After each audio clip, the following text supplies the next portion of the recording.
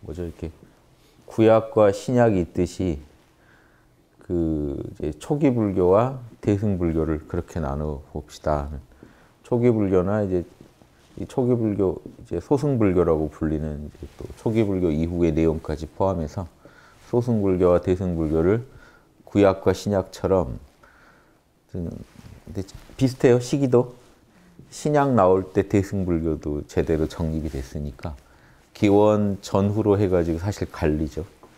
그 전에 이제 유대 철학과 기독교 철학이 갈리듯이 이때 소승 철학과 불교 안에서도 대승 철학이 갈립니다. 그 이후로도 지금도 유대교 있듯이 구약 따르는 파 있듯이 지금도 초기 불교 하는 분들이 있죠. 그러니까 지금 기독교에서도요. 기독교로 하다 또 막히니까 유대교로 돌아가자는 운동이 있어요. 기독교 안에서도 구약대로 해야 되는 거 아니냐. 답이 안 나오니까 이제 그런 식 이론도 나오고. 지금 대승불교 하다가 우리나라는 지금 우리나라는 애초에 대승만 했는데 요즘 와서 이거 하다 막히니까 화두 화두에서 견성자도 안 나오고 하니까 또 이렇게 또 승려들 또 문제가 있는 분들이 또 나오고 하니까 이거 이쪽 불, 스님들은 오히려 더 계율이라도 잘 지키더라 하면서 이렇게 아니면 이게 이제 원형의 깨달음 깨달음이 담겨 있는 거 아닌가? 부처님 원형에 그래서 이렇게 돌아가는 일도 생기고. 저는 이제 그 제강에서 일관되게 저는 반대하고 있습니다만 왜냐하면 그 어떻게 이렇게 또 진화해 왔는데 다시 다시 되돌아간다고 해서 답이 나올 건 아니다. 그래서 이제 석가모니 하신 작업을 한 500년간 비료 땅에다 인도 땅에다가 비료를 줘서 대승이 자랄 수 있는 토양을 만든 작업을 하신 보살님 이렇게 우리가 평가를 하자. 대보살이다 이렇게 평가를 해야지. 그분 가르침에 매이다가는 지금 대승이 이미 자랐는데 다시 그 이전으로 척박하던 때로 돌아가자는 것밖에 안 되지 않겠는가. 이런 말씀도 어제 좀 그 생방송으로 막 나가니까 말씀도 드렸는데 최근에 이제 그런 비슷한 얘기 제가 가끔 했더니 석가모니보다 보다 우리 대승의 불보살들이 훨씬 높은 분들이 계시다 영적으로 그러니까 이거 그 석가모니만 따르려다가 더 큰 거 놓치지 마라 이런 얘기 드린 적이 있는데 그런 거에 뭐 분노하는 분 계시더라고요. 이놈식 죽여버려 뭐 이런. 석가모니 신봉자들은 충격적인 얘기죠. 알고 하는 얘기죠. 뭐 저도 그러시리라고 알고. 다 지금은 이래도 나중에는요. 나중에 이렇게 이게 시간이 지나고 나면 그분들도 열심히 저희 지상 정토 게임에 아마 열심히 그 플레이하고 계시지 않을까 게임에 접속해서 그런 기대로 해봅니다. 간단하게 어제도 제가 그래서 구약 많이 구약을 뭐 구약 안에 도가 있는데 잘 소화해내지 못하면 문제가 된다. 그런데 신약은 이미 예수님이 구약을 극복하고 더 정화된 형태의 가르침을 주신 거니까 신약을 바로 보고 아니 한정된 시간에 신약 공부하다가 가는 게 맞지 구약 가서 헤매지 마라 하듯이 제가 대승 공부하시라 초기 불교 가서 헤매지 마시고 예, 이런 말씀도 드린 거죠. 상자부 불교 거기 저희가 소승 불교라고 하는 저희가 소승이라고 하면 되게 이제 혐오적인 표현이라고 싫어합니다. 상자부라고 불, 불러달라고 그래요. 상자부란 말이요. 꼰대 불교라는 뜻이 꼰대 불교. 상자부라는 게 꼰대 불교라는 뜻이에요. 그 반발하고 나온 게 대중부예요.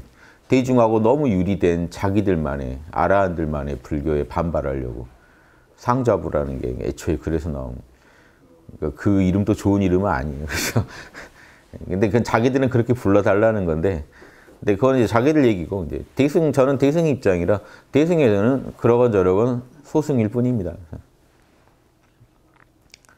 대승에서 분류할 때, 어, 저거는 참나의 철학, 음, 저거는 뭐라고 해도 에고의 철학 하듯이, 어, 요건 대승의 철학, 대승의 기준으로, 요건 대승의 기준에서 대중에 미달된 철학. 대승에서 분류하는 거니까 너무 신경 안 쓰셔도 돼요. 그분들은 상자부라고 본인들이 부르시면 되고. 예. 그, 그, 거기에 대해서 만약에 대승 입장에서 제가 그쪽 너무 신경 쓰지 마라 하고 또 신경 쓰이게 제가 뭐 설명을 한 번씩 해드리는데 12연기 같은 거 한번 이런 얘기는 안 드리기 뭐해서 한번 드려봅니다만 12연기 하는 거 아시죠? 12연기 논리의 근거에서 열반론이 설해집니다. 석가모니 열반론은 근거가 12연기예요. 그 전에 사성제 있잖아요. 사성제는 이겁니다. 고, 집, 멸, 도. 그러면 고통이 있다, 괴롭다, 일체는 고, 고다. 그 원인이 뭡니까? 그 가래, 가래라고 하는 욕심이죠. 욕심이다. 그러면 이 욕심만 버리면 고도 사라진다. 그렇죠? 그러면 이 원인이 사라지면 결과도 사라지니까 가래를 멸하면 고도 멸해진다. 다 멸하려면 도가 있다. 뭐냐? 팔 정도만 따르면 된다. 그것이 중도다. 중도를 걸어서 중도를 늘 실천하면 고를 멸하는 삶을 살 수 있다. 그래서 이제 죽은 뒤에 완벽하게 멸해질 수 있다. 저는 늘 여기는 비약이라고 봅니다. 열반을 논하는 부분은 다 비약이라고 봐요. 인간이 이건 경험할 수 없는 영역이에요. 인간이 지금 경험할 수 있는 거는 고집멸도에서도 지금 만약에 저희가 아라한들이 이 하는 아라한들이 잘하는 게 결국 정의 쌍수거든요. 늘 깨어 있으면서 지혜로 그 지혜는 아공의 지혜죠. 그러니까 저희 홍범 14조의 앞에 4개 정도 진리로 무장해 가지고 늘 열반 참나 접속 대승에서 하듯이 늘 열반에 접속해서 살아가시면 어떻게 될까요? 그럼 탐진치가 일어나도 나를 괴롭힐 이 가래라는 게 결국 탐욕인데 이, 이 탐욕에는 치, 어리석음도 있고 이 가래가 안 이루어지면 분노하는 진이 다 연결돼 있죠. 즉 탐진치가 원인인데 탐진치가 내 마음에 솟구칠 때마다 가만히 있다가 뭐 솟구칠 수도 있죠. 뭔가 대상을 마음의 대상이 떠오르면 솟구치겠죠. 가만히 있건 뭐 움직이건 마음에 뭔가 욕망의 대상이 나타나면 어리석음이 작동해서 탐하게 만들고 그 상황이 여의치 않으면 분노하게 만들고 이 상황이 일어날 때 바로 계정에 사막이 출동해서 이 정해 여기 이제 하나 더하면 개 실천 선정과 지혜와 실천이 출동해 버리면 이 사막이 확장판이 팔 정도거든요. 그래서 바르게 보고 바르게 보고 바르게 생각하면서 바른 선정에 들어서 바르게 말하고 바르게 행동해 버리면 그 자리에서 고통을 멸, 멸하게 할 수 있다는 거죠. 여기까지는 우리가 체험 가능해요. 괴롭던 게 사라져요. 더 나아가서 열반에 들어서 다시는 윤회 안 합니다. 여기는 비약입니다. 체험의 영역이 아니에요. 석가모니도 저 얘기하실 때 살아계실 때 했단 말이에요. 이게 비약이라는 거 아시겠죠? 다 인도인들이 다 원하는 거고 당연히 열반의 인간은 들게 돼 있다고 믿고 있던 시대예요. 인도 당시 우파니샤드나 베다가 다 열반을 노래하던 시대입니다. 그리고 전 인도 전역에서 연구하는 모든 철학의 주제는 열반이에요. 어떻게 지구에 다시 안 오나? 그러니까 지금 열반이 당연한 주제가 되니까 이게 열반론으로 연결됩니다만 실제로는 그러니까 석가모니가 제가 방편이라는 거죠. 아 열반 들게 해줄게. 이론이 있어. 고진멸도 이 이론대로만 하면 고가 멸해져. 고가 멸해진 그 거기가 열반 아니야? 그러니까 고만 잡으면 되잖아. 욕심만 잡으면 되잖아. 그러니까 계속 탐진치를 너가 깨워서 살아있는 동안 탐진치를 완전히 없앨 수는 없지만 탐진치를 힘이 무력하게 만들 수는 있어. 그럼 그 정도만 해도 아라한이야. 아라한도 탐진치 있어요. 그런데 그러니까 죽어야 끝나요, 결국은. 그러니까 죽어야 탐진치가 완전히 사라지니까 완전히 죽을 때 완전한 열반에 들어가 버리는 거야 라고 가르친 거죠. 근데 그건 확인할 길이 없는 소리입니다. 왜? 이 이론상에서 열반이 보증되진 않아요. 고를 멸할 수는 있어요. 탐진치를 잡는데 개정해를 쓰면 계율이 탐욕을 잡고 이렇게 이렇게 설명해도 돼요. 원래는 이제 종합적으로 작용하지만 계율이 탐욕을 잡고 선정이 분노를 잡고 어리석음을 지혜가 잡아서 탐진치 출동하면 계정애가 바로 출동해서 요격할 수 있습니다. 이건 실천 가능해요. 그러니까 바로 해볼 수 있어요. 그러니까 지금 저기 상, 상자부건 저기 초기불교 공부하는 분들이건 나는 고가 일어날 때마다 탐진 탐진치가 나를 습격할 때마다 계정애를 써서 잡으면서 산다. 그럼 거기는 그건 자명한 얘기죠. 거기에 이제 무슨 진리를 가지고 문제를 풀어가느냐? 아공을 가지고 풀어간다. 뭐 더 할 말 없죠. 이제 이건 사성제 얘기예요. 사성제. 그러니까 저는 자명한 건 취하자는 거예요. 이거는 우리가 영적 플레이를 할 때 아주 필요한 겁니다. 고진멸도.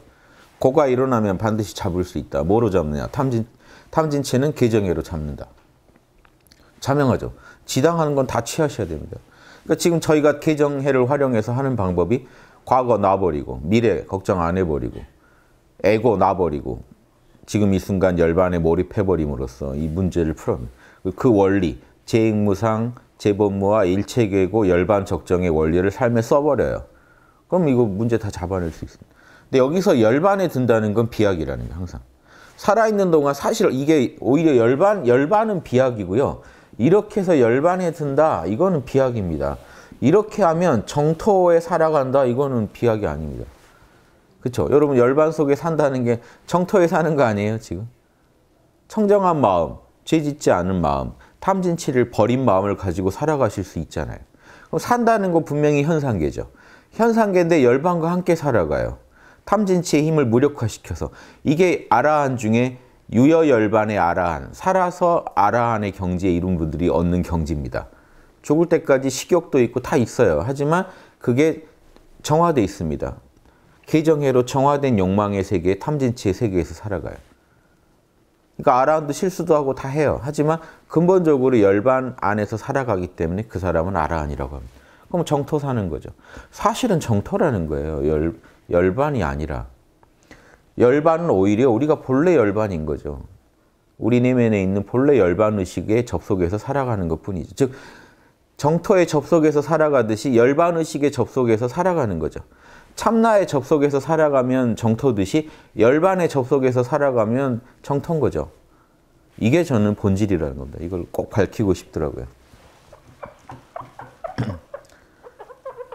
나중에 이제 석가모니 부처님 제가 따로 만나서 말씀할 테니까 여러분은 누리세요. 다 이렇게 오히려 석가모니 부처님이 좋아하시지 않을까요? 아니 방편 쓴 거를 계속 하면 좀 미안해요. 본인도 당사자도 좀 난감합니다. 그때 방편으로 한 얘기인데 계속 그때 이런 얘기 하셨죠? 계속 그러면 이거는 좀 묻어두어 이게 왜 대승 나왔는데 왜, 왜 그래 나한테 왜 나를 소승에만 묶어두려고 해 이거 이러시지 않을까요? 진짜 대승이 옳다는 거 아시고 나면요 석가모니 부처님도 대승보살이시구나 그냥 알게 돼 있어요. 그러니까 법화경인이 하는 대승경에서 석가모니를 자꾸 챙겨가면서 가는 거죠. 그 위상을. 그분 덕에 지금 대승이 나온 거니까. 그 공덕 고마워서 같이 이렇게 모시면서 가는 겁니다. 그런데 계속해서 아니다.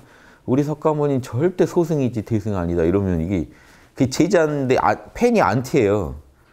아닙니다. 우리 피터팬님은 그런, 절대 그런 분 아닙니다. 몰라만 하시는 분입니다. 막 이러면 제가 뭐가 돼요? 그때는 그때는 당신한테 내가 당신이 몰라밖에 안 될 처지라 그거 가르친 거예요. 라고 해도 아니요. 저는 똑똑히 기억하고 있습니다. 다른 거 다 필요 없고 몰라만 하라고 하셨잖아요. 뭐 이러면 뭐가 돼요? 제가 딴 데 가서 한 얘기가.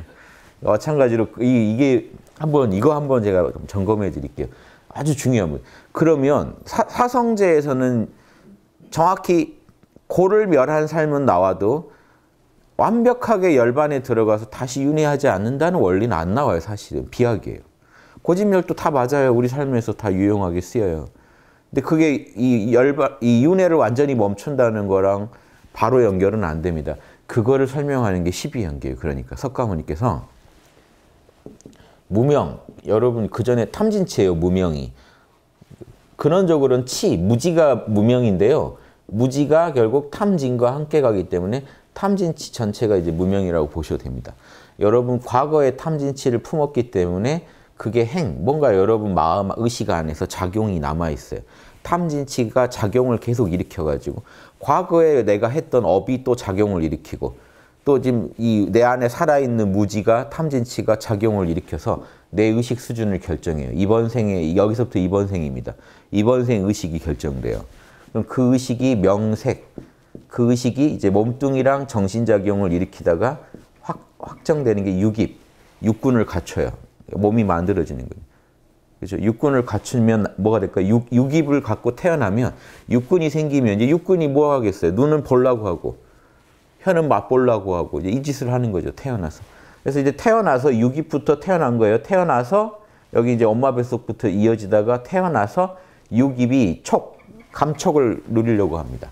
눈은 봐야겠고, 귀는 들어야겠고, 혀는 맛봐야겠고, 몸은 만져보고 싶고 촉감 느끼고 싶고 코는 또 냄새 맡고 싶고 생각은요. 그것도 이게 이제 초기 생각은 이제 오, 감의 정보가 들어오면 그걸 가지고 생각 감정을 일으키려고 합니다. 이제 이게 유깁이 준비되면 접촉이 일어나요. 여기 여기서 여기서부터 중요합니다. 접촉이 일어났다는 게 이제 중요해요. 접촉이 일어나 가지고 어떻게 될까요? 접촉. 촉. 그다음에 수. 느낌이 생겨요. 수, 느낌. 이 수는 삼수가 보통 있어. 삼수. 조, 좋음, 싫음, 좋지도 싫지도 않음. 아무튼 뭔가 이제 불쾌하다, 좋다가 여기서 이미 판단되죠. 수. 그러면 이제 좋은 감정은 애, 가래가 생깁니다. 아까 또 고집멸도에 그 가래가 등장해요. 모든 이 우리 고의 원인인 가래가 이때 제대로 등장합니다. 이 느낌까지는 아직 약한데 좋네, 신뢰 이 정도에서 멈추면 되는데 여기서 촉, 수, 촉에서 수 느낌이 왔다가 이 느낌이 증폭돼요. 더 느끼고 싶은 거예요, 지금. 좋은 건 더 느끼고 싶고 싫은 건 피하고 싶은 게 이제 가래입니다. 가래가 생겨서 취. 좋은 거를 움켜잡는 게 취예요. 이제 취해버려요. 그러면 유. 존재의 업이 생깁니다. 이건 존재의 업이에요. 그러면 유가 생기면 어떻게 될까요? 다음 생이 태어나겠죠. 그래서 또 늙어 죽겠죠. 여기 12연기입니다. 여기서 중요한 게 중요한 게 이거예요. 촉. 요 전까지 우리가 아무리 잘못 살았더라도 불교 이론이 그래요. 지금 접촉이 중요해요. 지금 육군에 뭐가 들어왔는가가 중요해요. 요게 지금 지금 여기서 일어나는 건 요거예요. 현재. 그래서 이 촉에서 수는 자동으로 일어나요. 막을 길이 없습니다. 과거대 업으로 수는 좋고 싫음이 자동으로 일어나요. 요걸 막을 수는 없어요. 촉에서 수가 일어나는 거예요. 근데 이거예요. 수에서 애로 이어지는 거. 이때 여기서 이제 고리를 끊어야 돼요. 수가 욕심을 일으켜요. 내 안에서. 욕심을 확 일으킬 때 이때 여기서 이때 뭐가 투입돼요? 이때 아까 말한 계정에 사막이 투입돼 버리면 어떻게 될까요? 예, 계율은 이제 실천 문제니까 더 직접적으로 선정과 지혜가 바로 투입되면 딱 깨어나가지고 내가 지금 좋다 싫다 느낄 때 딱 깨어가지고 평정심으로 바라보면서 아공의 진리로 이놈은 무상고 무아야라고 해버리면 어떻게 될까요? 애가 안 생겨버리죠. 가래가 죽겠죠. 아까 고집멸도 원리로 가래가 멸해버리겠죠. 그러면요. 취, 집착이 사라지겠죠. 그, 그 집착이 더 강화되는 게 중단되겠죠. 그러면 그 업을 짓지 않겠죠. 카르마가, 그럼 카르마가 없어지니까 안 태어나겠죠. 여기 12연기 논리입니다. 그럴싸하시죠? 이렇게 하면 안 태어날 수 있어야 되겠죠. 자, 이거는 제가 또 말씀드리는 게 12연기가 이게 말이 안 되는 소리입니다. 비약입니다. 비약. 그럴싸하죠, 지금 뭔가. 제대로 해명 못하면 완전 뭐 될 것 같은 소리 한 건데. 수에까지. 자, 욕심 출동했어요. 저희 이론으로 볼까요? 근데 저희 이론으로 안 보더라도 이제 자명하게 보는 거예요. 근데 지금 저희 이론이 더 자명하다고 저는 생각하니까 말씀드리면 욕심 출동할 때 계정애가 결국 육바람일 출동한 거죠.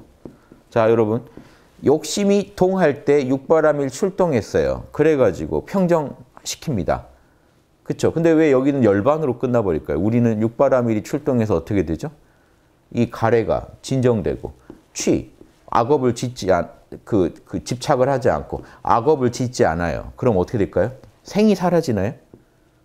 여기서 이게 비약이에요. 말이 안 되는 소리라고요.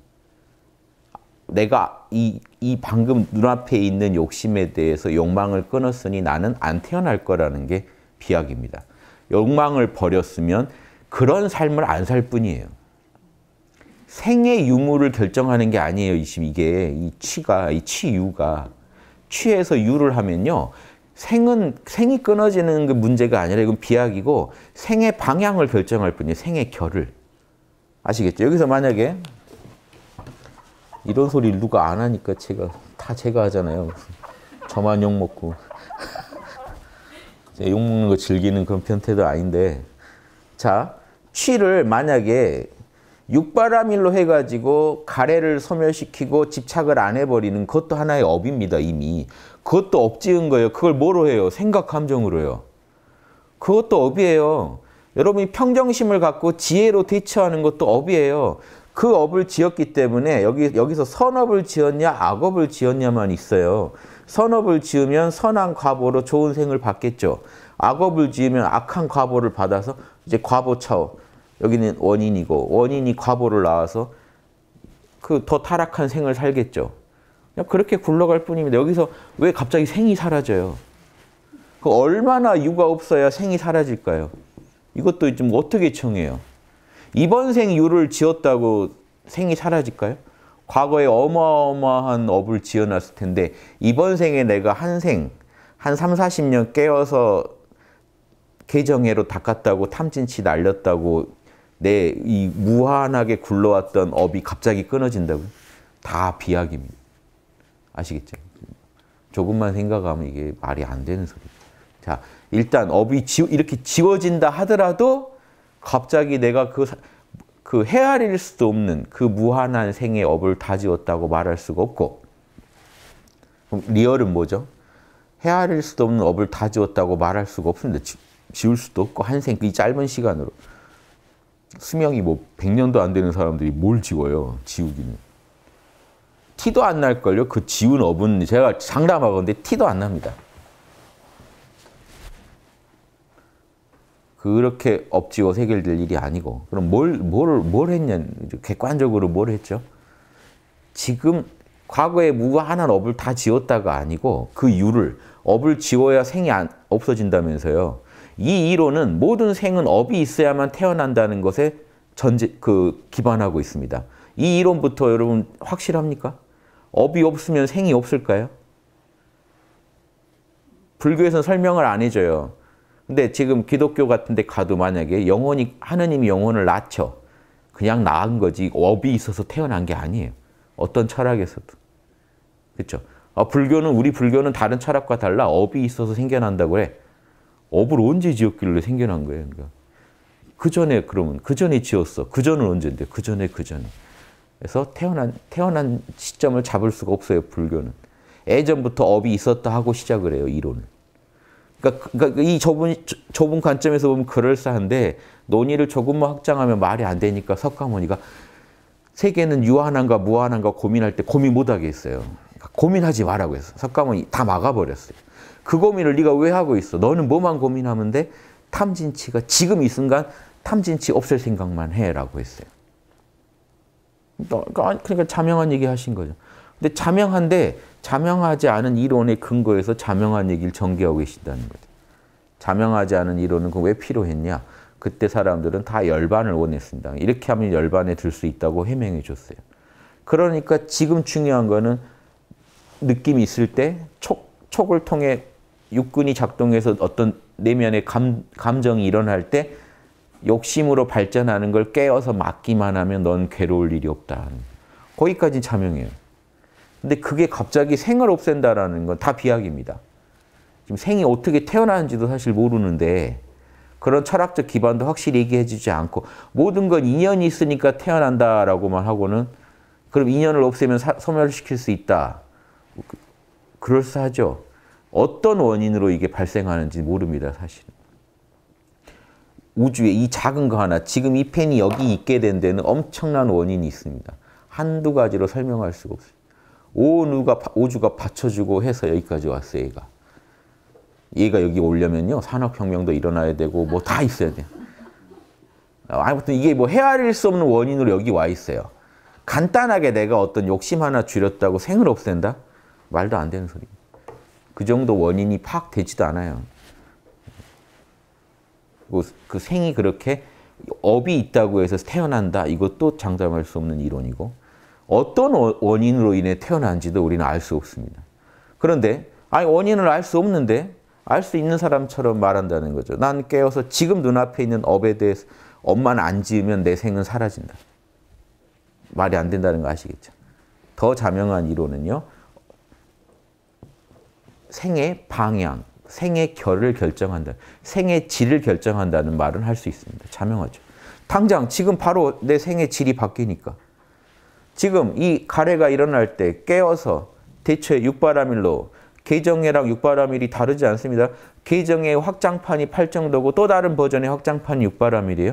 육바라밀이 벌써 보시, 지계, 인욕, 선정, 반약 다 있죠. 계정에. 거기에 보시, 인욕, 정진만 더 들어가 있는 거예요. 똑같아요. 8정도랑 지금 육바라밀을 그 관점에서 보면 똑같아요. 실제 이제 어디 적용됐냐는 한쪽은 소, 출가자들한테 소승 철학을 구현하는 입장에서 적용되고 8정도는 한쪽은 보살들이 대승 철학할 때 적용해서 그렇지 이론상으로는 일단 그건 하나로 통하는 겁니다. 그렇죠? 8정도도 만약에 대승보살이 해버리면 대승 8정도가 나올 거예요. 아시겠죠? 그러니까 8정도 육바람일 한다고 해서 열반에 들어서 우주에서 사라진다는 발상은 인도인들한테 쓴 석가모니 부처님의 방편으로 보셔야지 자명하지 않은 학설이다. 자명하지 않은데 왜 썼느냐? 방편으로. 왜? 보살의 보살도 제일 원칙이 그 시대, 그 장소, 그 중생의 마음에 순응하라예요. 그 중생들이 원하는 걸 들어주면서 도를 펴라. 아시겠죠? 그러니까 지금 석가모니는 전형적인 대승 보살이셨구나라고 할 수밖에 없죠. 이런 식으로 해서 정토를 다 보내버린 거예요. 당시 열반에 들겠다는 사람들을 모아다가 열반에 드는 최고의 비법을 공개한다 해가지고 다 개정해 닦아서 깨어나게 만들어 버렸습니다. 팔정도 닦아서 깨어나게 만들어 버렸어요. 그럼 성공한 거죠. 그래서 다른 힌두교 성자들은 되게 소시어적인 문화가 있 을 때 이쪽은 아주 개정에 엄격하게 지키게 만들었어요. 그래서 자비 이념, 불살생 이런 거 철저히 지키게 해가지고 그게 도랑 아주 직결된 문제라고 가르쳤어요. 그런 경도 있어요. 니까야 중에. 너희가 선정이 아무리 잘 들어도 그거는 고요한 삶, 삶일 뿐이고 현세의 즐거운 삶일 뿐이지 사선정을 잘 닦으면 현세의 즐거운 삶. 사선정은 몸을 전제한 선정이니까 몸이 있는데 고요하다. 그러면 현, 현세의 즐거운 삶이 되는 거고 무색계 선정, 사선정에 들면 그거는 아주 텅 빈 세계에서 열반낙을 누리는 거니까 열반에 가까이 가는 거니까 고요한 삶일 뿐이다. 하지만 내가 그 주장하는 삶은 그런 삶이 아니고 죄를 안 짓는 삶, 버리는 삶이다. 악업을 버리고 선을 닦는 삶이 내가 추구하는 삶이고 가야 할 길이라고 제시하는 거다. 제자들한테. 그렇게 가자. 이건 인도에서 파격적이죠. 선정으로 선정으로도 안 된다는 거예요. 아무리 깊은 선정에 들어도 그거는 고요하고 현세의 즐거운 삶이지 내가 말하는 악업을 짓지 않는 삶이 아니다. 그러니까 실제 죄를 안 지어야 열반에 들 수 있다는 주장을 하신 거예요. 그럼 그 죄가 죄인지 아닌지 알아보려면 지혜가 있어야죠. 그래서 이 개정회가 딱 확립된 겁니다. 그러니까 당시 인도 성자들에 비해서 지혜롭고 선정도 잘 들지만 당연히 잘 들지만 더 지혜롭고 개행까지 실천까지 악은 하, 악은 안 하고 선은 하는 도인을 만드는 자비 도인을 만드는 게 목표셨어요. 그럼 그 그거에서 성공하시면 성공하신 거예요. 그래서 500난이니 경전에 1250아라니니 등장하면 어마어마하게 접속시키신 거죠. 이런 주장도 하세요. 제자들 모아놓고 너네 다니면서 다른 학원 애들, 다른 PC방 애들 만나면 우리 석가모니 이 길드만 진정한 삼은 접속자가 있다 이렇게 주장하고 다니라고 그랬어요. 이렇게 시비 걸면 이렇게 대답하라까지 막 가르쳐 줍니다. 그런 경우도 있어요. 뭐 광호하죠. 열받죠. 다른 다른 브라만 학원들이 있는데 갑자기 너희들 다른 외도들 만나면 우리 고타마의 가르침을 따르는 제자들 안에서만 첫 번째 사문도 있고 두 번째 사문도 있고 세 번째 사문도 있고 네 번째 사문도 있다. 지금 이 사문이 다른 곳에는 없다 이렇게 주장하고 다니라고 그랬어요. 무섭지 않나요? 다른 데 가서 여기 접속자 없다 하고 막 갑자기 다른 PC방 가서 주장하면 거기 게임하는 사람들 다 화날 거 아니에요. 야, 우린 뭐가 돼? 그러면. 그럼 이제 그때 이렇게 대응하라. 막 이렇게 가르쳐 줍니다. 근데 이게 나름의 이게 다 그게 당시에 어마어마하게 석가모니께서 지혜롭게 막 방편을 쓰신 거예요. 당시 사람들을 힌두교만 믿고 있으면 뭐예요? 접속이 접속을 아무도 못 하고 있는데 진짜 접속자를 만들어 줄 욕심으로 힌두교인들이 계속 이론 따지고 논리 따지기 진짜 좋아하는 민족이거든요. 인도가. 그 논리를 막아버리려고 참나 얘기하면 참나 참나 너 봤어? 참나가 영원한데 왜 너는 그렇게 찌질하게 살아? 막 이러면 이게 할 말이 없어지죠. 그러니까 논리적인 반박은 아니에요. 그러니까 석가모니가 참나 비판하고 아트만 비판하고 뭐 힌두교 비판한 거 있잖아요. 브라만 비판하고 다 논리적인 게 아닙니다. 제가 볼 때는 입만 막을 정도의 그 용도예요. 그러니까 토로 못하게 막을 정도의 용도지 형이상학 체계를 구축해서 비판하신 게 아니라고요. 그냥 입만 막은 거예요. 너 참나 알았다고? 야 그럼 참나 있는데 왜 너 그 모양이야? 너는 왜 그 그 에고는 어디서 나왔어? 참나가 그렇게 좋다는데 너는 왜 죄를 왜 짓냐? 만약에 어떤 도인이 그랬다면 여러분 승려한테 찾아갔는데 승려가 그랬다면 그 승려가 진짜 그렇게 생각해서 여러분한테 질문했을까요? 아니면 여러분은 힐문을 하신 걸까요? 너 공부 제대로 하고 있냐라고 던진 걸까요? 이렇게 보셔야죠. 그러니까 석가모니가 당시 힌두교인들 만나면 막 질러버리셨다고요. 논리도 다 제압해버려요. 그런데 들어보면 형이상학적인 제대로 된 논쟁이 아니에요. 그냥 입 막는 용도예요. 그러니까 너 모르겠지, 불확실하지. 그러니까 몰라 해라는 느낌이에요. 그러니까 네 탐진치나 없애. 너가 그 알아낼 수 있는 게 아니야. 영원히 못 알아낸다는 거냐? 그것도 아니에요. 지금 너 못 알아내. 그러니까 탐진치 일단 없애고 보자 이거죠. 마르시한테 옛날에 그 제자들이 찾아가서 신은 뭡니까 그러면요. 신을 묻는 넌 누구냐 그래요. 너부터 알아야지. 마르시가 신을 모른다는 게 아니에요. 너부터 알으라는 거죠. 그럼 자기 나는 누군가 해서 나를 알고 나면 신도 안다는 거죠. 그러니까 힌두교인들이 와서 막 아트만 떠들고 불화만 떠들고 하면 어때요? 석가모니께 논리적으로 막 다 공격해버리고 너 탐진치 있는 거 아니냐? 탐진치나 없애는 게 맞지 않냐? 그러면 그러게요 하고 탐진치 없애고 나면 자기가 알겠죠, 알아서. 그러니까 이런 식으로 우리가 이해를 해보면 석가모니가 아주 실감나게 이해가 되고 인도에서 그런 도인들이 간혹 있었기 때문에 석가모니 비슷한 도인들. 마하리시도 꽤 비슷해요. 닮았어요. 힌두교지만 인격도 좀 높고 그리고 그렇게 제자들 지도할 때 참 성실했던 모습들. 돌아가시기 전까지 제자 지도하고 그런 거 다 닮았어요. 제자가 막는데도 불러다가 가르쳐. 뭐 마하리시 같은 분은 평생 접속해 계신 분이다, 여러분. 평생 영적인 캐릭터 키우는 데만 접, 속해 계신 분이라 살아있는 동안 자기 몸을 잘 못 느꼈어요, 이분은. 그래서 몸, 몸 어떠세요? 아, 바람같이 있다는 것만 알아. 할 정도로. 계속 참나에만 더 강하게 접속해서 사신 분이에요. 뭐 다른 거 할 일도 없어요. 거기는 문화가 좋아서 가만히 있으면 막 아시람이 만들어지니까 그냥 계속 평생 가만히 앉아 계셨어요. 소파 사주면 소파에 앉아 있고 이런 식으로 계속. 건강 차원에서 마실 한 번씩 돌, 도는 거. 아루나찰라산 이렇게 하루에 한, 한두 바퀴 도는 거. 그게 다예요. 그러니까 이렇게 사신 분도 있어요. 꼭 석가모니랑 같다는 게 아니라 유사한 삶을 사는 도인들이 실제 인도에도 있다고 양심 좀 있는 분들은 많은 사람한테 이 도를 전하려고 자비심 가지고 합니다. 마하리시가 제일 강조한 게 자타불이에요. 나와 남을 절대 둘러보지 마라. 참나 차원에서는 둘이 없다. 그럼 이분도 대승적인 맛도 있죠. 하지만 추구하는 게 그렇게 해서 우리 다 열반에 들어 사라지자예요. 그러니까, 그러니까 이게 제가 아, 난감하다는 거예요. 고매하신 분인데 분명히 이분 이런 분들이 그런 자비심으로 또 중생들을 쉬지 않고 자기 몸 아픈 것도 안 돌보고 가르쳐 주는 분인데 내용이 소승적이다.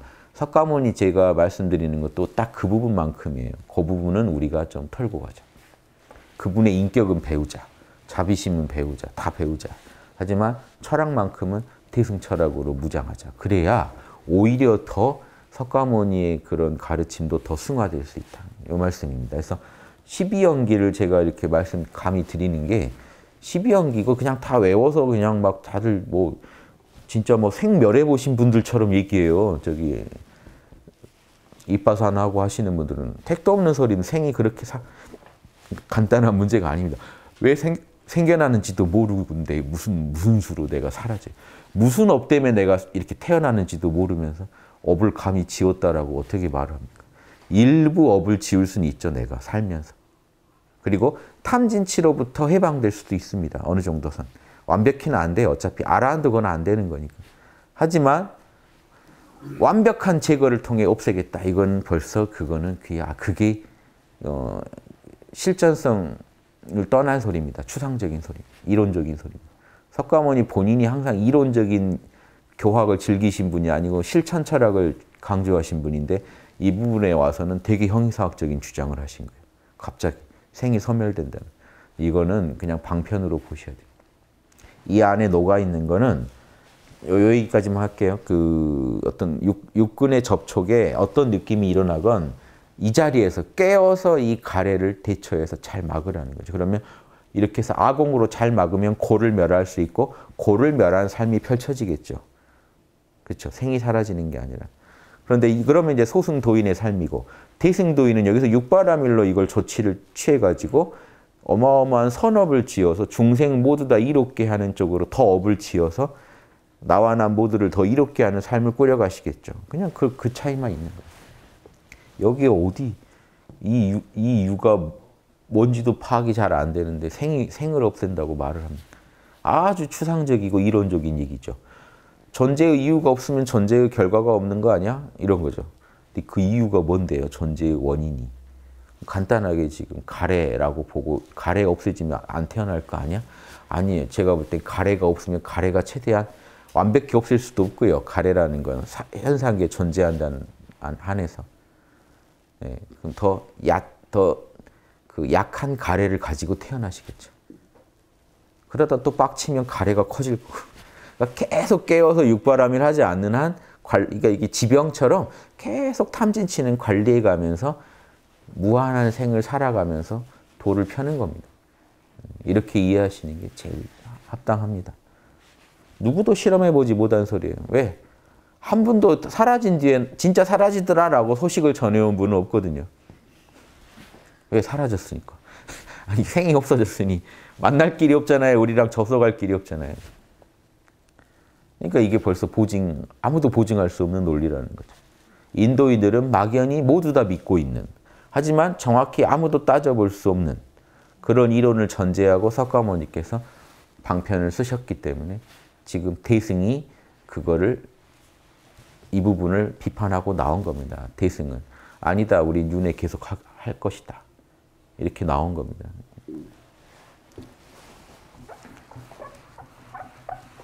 그러니까 여기서 드린 말씀은 석가모니 이론을 전제하더라도 어떻게 유가 생을 만드는지에 대해서 이 나오지 않아요. 경전에도 정확히. 막연히 가래가 없으면 유가 사라져서 생이 사라질 거다. 이 말은 막연하게는 맞는 말이 이론적으로 맞는 말인데 예, 우리 무한한 생을 살아온 우리 입장에서 볼 때 이게 그 간단한 얘기가 아니고 그러니까 석가모니 말씀을 다 인정하더라도 쉬운 얘기가 아니고 그리고 또 그래도 미세한 탐진치 남아 있고 사실은 살아 있는 한에는 예. 근데 그거는 어 살아 이 탐진치가 미세하게 있지만 그건 이미 업이 끊어진 거야. 불타버린 그 나무의 그 나무 모양을 하고 있지만 불타버린 재 같은 거야. 이미 나무가 아니야. 이 말에도 다 비약이에요. 자명하지 않은 말입니다. 탐진치가 약해졌다고 해서 그게 이미 이제 이번 생이 끝날라고 이러는 거야. 이런 근거가 없어요. 그러니까 딱 확, 확실한 거는 내가 개정회로 무장하니까 탐진치가 엄청나게 약해져 있고 악업을 짓게 나를 악업을 짓도록 나를 그 탐진치가 이끌지 못할 정도로 불타버렸다. 불타버린 재와 같다. 여기까지는 말할 수 있어요. 악업으로 인도한다는 측면에서는 분명히 힘이 없다. 아시겠죠? 나무면 나무로서 용도를 할 수 있어야 되는데 불타버린 그 젠데 나무 모양만 하고 있는 건 이미 나무는 아니잖아요. 마찬가지로 탐진치가 불타버려가지고 재만 남아가지고 탐진치가 있긴 있는데 나로 하여금 죄를 짓게 할 수 있는 힘은 없다. 여기까지는 맞는 말인데 더 나아가서 그러니까 난 이번 생이 마지막이다. 여긴 다시 여기서부터 비약이라니까. 그런 정토에 접속되셨다는 그냥 증거일 뿐이에요. 그거는. 그럼 그 접속하신 대로 또 계속 살아가시는 거예요. 사실은. 그런 분들이 그 다음 생에 왔을 때 뭐가 되실까요? 그런 분들이 다음 생에 또 금방 깨어나서 도인 노릇 하겠죠. 그냥 그런 거예요. 그러니까 아, 어 저분 금방금방 어려서부터 신동이 돼가지고 영성지능 높아가지고 금방 또 고승이 돼서 중생들한테 많은 가르침 펴고 가신 분들이 전생에 다 아라한 이루신 분들이에요. 이렇게 해야 되는데 지금 불교 이론은요. 석가모니께서 만약에 아라한만 돼도 다시 못 태어나시죠. 그러니까 그 전에 무한한 생을 아라한도 못 되신 채로 계속 고생만 하셨다는 거예요. 육바라밀을 닦으면. 왜 아라한 돼버리면 다시 못 오니까. 이 무리한 이론이 어디 있습니까? 아니 그 당시 인도에서 힌두교 믿다가 석가모니 찾아와서 반나절 듣고 아라한 된 사람이 나오는데 석가모니가 그러면 그 무한한 생은 아라한을 계속 피해온 삶이겠죠. 혹시 깨어날까 봐 그냥 깜짝 놀라서 계속 탐진치에 빠져가지고 보살도만 했다는 다 하나도 실전성이 없는 얘기들이 말도 안 되는 소리들이죠. 그걸 믿고 계세요. 경전에 써 있으니까 믿고 계시. 해보면 하나도 안 맞습니다. 해보고 얘기하자. 우리 삶에서 제한된 삶에서 실험한 것만 가지고도 확인할 수 있는 게 엄청 많습니다. 이 경전의 내용이 자명한지 아닌지. 확인할 수 있죠. 고진멸도도 바로. 반나절에 아라한이 나오는데 그럼 좀 넉넉히 잡아서 하루에는 나와야 될 거 아니에요. 예. 좀 공부해온 사람은 하루면 나와야죠. 하루에 아라한 되고 나서 보시면 알겠죠. 아 이게 그, 그 아라한이 그런 게 아니구나. 내가 생각했던. 생이 멸하고 이건 아니고 확실히 말할 수 있는 거는 나는 다시 예전의 상태로 안 돌아갈 정도로 나는 깊이 열반에 접속했다는 것은 말할 수 있죠. 그 이상 말하는 건 오바라는 거예요. 저희 학당에 만약 그 이상 얘기하면 제가, 저희가 막 지적할 거예요. 24시간 열반에 접속 가능하세요? 네. 아공 다 인가 되세요? 네. 그럼 거기까지 얘기하면 네. 어, 저 다시 안 태어날 것 같아요. 그러면 어, 저희 다시 좀 점검을 다시 받으셔야 될 것 같아요. 그런 망상은 어디서 품으셨나요? 남들이 그러더라고요. 경전에서 그러더라고요. 자기가 느낀 거 하나도 없어요. 선생님이 그런다니까 그런 줄 아는 거예요. 그러니까 석가모니는 중생들 도우려고 지르셨고 믿는 제자들은 선생님이 그렇다니까 그렇다고 아는 거죠. 사실은. 상상해 보세요. 늘 24시간 열반 속에 살고 탐진치가 맥을 못 쳐요. 근데 그 치가 완전히 극복한 것도 아니에요. 왜냐 아공만 아셨지 지금 법공도 모르시니까 치를 다 벗은 것도 아니에요. 치를 잠잠하게만 해놓은 거예요. 그래서 아라한들은 탐진치를 제대로 극복한 게 아니라 아까 그 마하리시만 해도 평생 참나의 접속에 사니까 몸의 존재를 잘 못 느꼈다니까요. 그럼 탐진치를 잘 느끼겠으니까 몸을 잘 못 느끼는데. 마찬가지가 여러분이 열반의 접속을 강하게 하고 사시면 그러니까 꼭 초기 불교에 조건이 있는 거예요. 아라한들한테 숲에서 살아야만 아라한 된다고 조건을 거는 거예요. 무조건 출가자에서만 아라한 나올 것처럼 조건을 거는 거예요. 왜냐? 어디 가서도 탐진치가 작동 안 할 거면 출가할 필요, 출가 안 해도 되죠. 사실은. 왜 출가란 조건을 걸까요? 여기 트릭이 있습니다. 왜 제가해서는 안 된다고 할까요? 아라한이 집에 가 있으면 바로 그 막 와이프랑 싸우고 어머니랑 싸운다에 제가 겁니다. 탐진치가 불쑥 솟아난다에 겁니다. 숲에가 있어야 잠잠해요.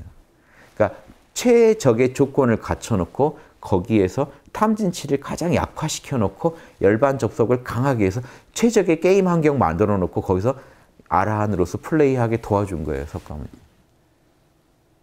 이해되시죠? 그 상태, 그 조건에서만 가능한 거예요. 그러니까 절대 이 양반들 세속에 돈도 못 만지게 돼 있어요. 아라한은 돈못 만집니다. 아니 도인이 왜 돈을 못 만지죠? 만져서 어떻게 될까요? 만졌으면 만약에 탐진치가 또 올라오는 거예요. 이게 안 되는 거예요. 그러니까 그, 그 정도 해놓고 그 생을 날린다라고 주장한다는 건요. 그거는 그 시대의 믿음입니다. 이 정도까지 해버리면 뭐 제가 너무 많이 했는데 재밌죠? 그래서, 그래서 더 어떻게 주장할 수 없게 막 해야 되는데 그래도 또 믿는 분은 믿겠죠. 그런데 제 얘기 듣고 솔깃한데 하시는 분들은 이제 제대로 정토 플레이가 가능합니다. 왜 제 소승을 지금 더 한번 또 야박스럽게 뭐라고 했냐면 그런 마인드는 제대로 정토 플레이를 못해요. 열반에 집착해 있거든요. 그러니까 열반에 집착해 있어요. 열반에 엄청나게 집착해 있는 상태예요. 그 마음이 또 생을 만들 겁니다. 그들 이론이라고 하더라도. 어마어마하게 열반에 집착해 계세요. 열반도 놓으셔야 돼요. 열반도 모두 다 놓으셔야 돼요. 다 놓고 깨어서만 살아가시면 아주 그게 보살이에요. 윤회를 하겠다 말겠다도 아니에요. 그냥 수용하는 거지. 나한테 다가오는 자명한 거 뭐든지 수용하겠다. 그 인욕의 마음으로 그러니까 열반을 고집하지도 않는 거죠. 원래 올바른 보살상은 탐진치 계속 다스려 가면서 이게 게임의 조건이죠. 탐진치 잡을 것. 탐진치 잡아가면서 육바라밀로 탐진치 잡아, 잡아가면서 나와 남 깨어나게 해가면서 계속 살아가시는 거예요. 윤회를 하겠다도 아니에요. 그냥 그 이 윤회가 나한테 주어진다면 적극적으로 임하겠다는 거죠. 자세로. 만약에 보살은요. 아니야 너 윤회 못해 열반에 들게 돼 있어. 그럼 수용해야겠죠. 오케이. 이게 보살도입니다. 열반이건 윤회건 수용하겠다는 거예요. 사라지겠다는 게. 탐진치도 수용해버려요. 탐진치 있어도 상관없다는 거예요. 난 육바람을 해버리니까.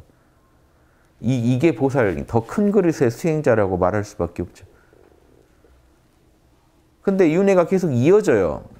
그러니까 윤회도 수용해버린 거예요. 윤회도 의미가 있구나. 뭔 의미가 있어요? 윤회를 해야 내가 더 보살도 하고 다닐 거 아니야. 그러니까 수용해버린 거예요. 의미를 가지고 수용한 거예요. 그리고 이해해버린 거예요. 윤회의 의미를 이해해버린 거예요. 그러니까 진실을 받아들이고 끝낸 거예요. 이게 보살상입니다. 열반 수행자들은 일단 집착하고 있어요. 다시 안 오고 싶다는. 다시 안 오고 싶다는 집착이 있어요. 저기 신선도 닦는 사람은 장생 불수하겠다는 집착이 있어요. 그게 다 아닌 거예요. 사욕이 있는 거예요. 사욕이. 하늘이 죽으라면 죽을 그런 마음으로 수행을 해야죠.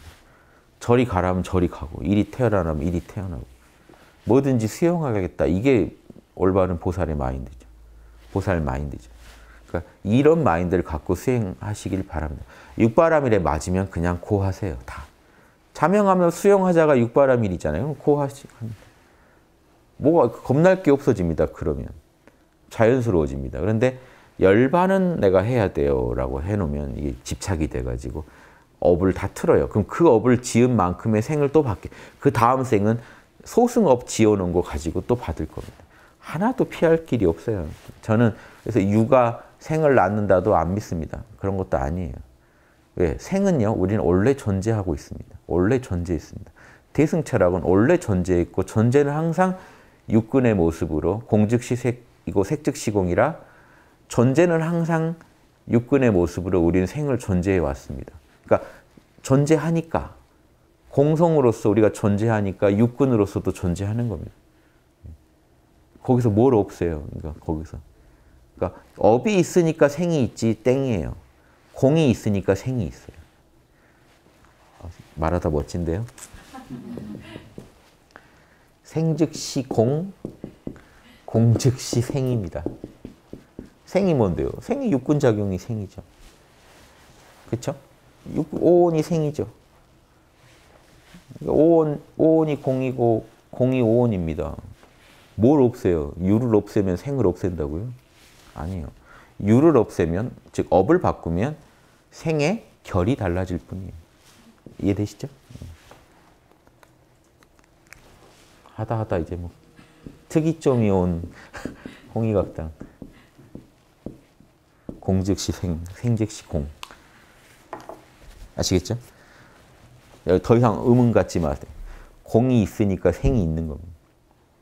음. 업이 있어서 생이 있는 거 아니에요. 12연계 제가 반발합니다. 석가모니를 비판하는 게 아니에요. 그 소승 철학을 비판하는 거지.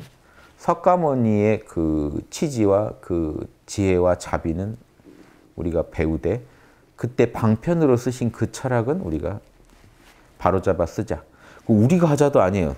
대승불교에서 이미 해놨어요. 2000년 전에. 2000년 전에 해놓은 거라도 잘 이해해서 따라가자 이겁니다. 지금 생은 현상계의 생이죠. 공은 절대계의 생이에요. 사실은 한 생이에요. 사실 한 생이고 한 마음입니다. 한 생명이에요. 다 해서 한 생명.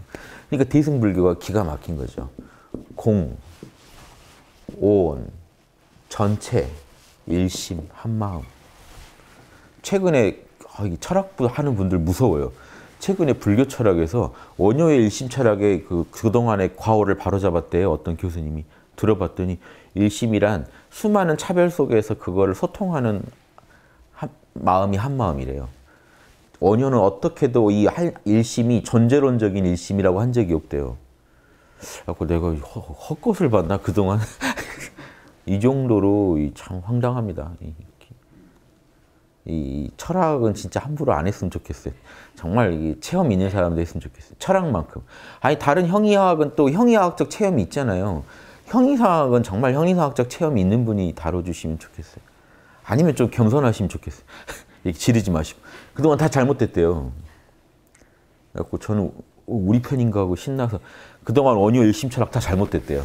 오 했더니 저도 잘못됐다는 쪽에 들어가 있더라고요. 그래서 오 했다 우 했죠. 아, 뭐야 이거 그래서 기가 알면 기가 막힌 사상인데 이것도 하나 지금 수용이 안 됩니다.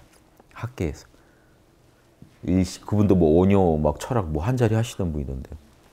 일심은 이 전체가 한 마음이라는. 절대계와 현상계가 한 마음이다가 이게 대승의 극치입니다. 덕극치는 육바라밀인데 이것만 해도 아무튼 대승의 지금 핵심이에요. 절대계와 현상계를 둘러보지 마시라. 지금 이 내 눈앞에 있는 이 이런 색 이건 뭐 지저분한 거고 이건 더러운 거고 열반은 깨끗하고 이러니까 열반 들어가고 싶어하죠. 그게 사욕이에요. 사리 사욕. 그게 탐진치입니다. 열반에 들고 싶다가 탐진치예요. 불가능한 걸 바래요. 탐내요. 그 에고 욕심이에요.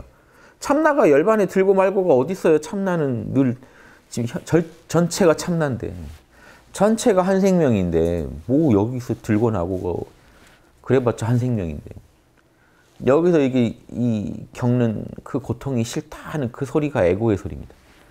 괴로우니까 싫다 그 에고의 소리예요. 그렇죠? 그 에고의 소리 괴롭다는 그 에고의 소리 잠재우겠다 하는 철학이 소승 철학이 대승 철학은요. 괴롭다는 소리도 참나의 작용이다 하는 더 큰 큰 차원에서 크죠 스케일이. 그러니까 이렇게 보면요, 이 둘이 하나, 이 둘이 하나라는 걸 아신다면 이렇게도 보셔야 돼요. 절대계와 현상계가 하나다. 그렇게 되면 절대계는 현상계의 감춰진 모습이다. 현상계는 절대계의 드러난 모습이다. 이렇게도 보셔야 돼요. 하나로 돼요. 진짜로 하나로. 그래서 절대계는 감춰진 현상계요. 현상계는 드러난 절대계다. 이렇게 말하실 수 있어요. 이 정도 돼야 이제 둘이 아니다 하는 소리를 합니다. 이게 이제 이사무예죠. 진리계와 현상계가 둘이 아닌 소식, 이사무예 법계.